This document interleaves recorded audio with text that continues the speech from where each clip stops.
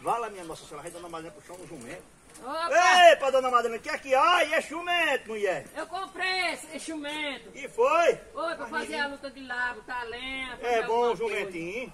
Aí eu vi, ver- eu vi um chucai aqui um dia desse, saber se tinha um chucai pra me emprestar pra eu botar nela. Del, mas menina, rapaz, que é um chucai emprestado. Eu tenho É. um chucai botar um pequenininho desse, né? É, era um chucai pra botar no jumento. Tem uma corda. Eu vou soltar, não tem um não, me deu um pedaço de corda. Vou tirar essa daqui até duas marretas, depois eu arrumo outra. Mas dona Madalena agora comprou um jumento. Foi, comprei jumento pra botar lenha. É bom demais, ó. É um chucainho é bom porque fica mais fácil de achar no mato, né, dona Madalena? É, Cercado lá é grande. pois é. Mas, rapaz.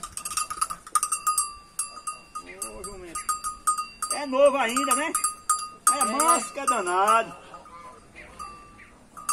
Pronto. Vamos sentar, tomar o café.